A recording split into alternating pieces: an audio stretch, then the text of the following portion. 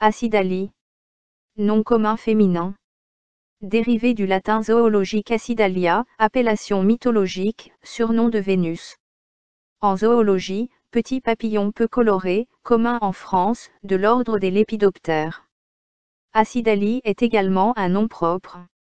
C'est le nom d'une source de Béotie.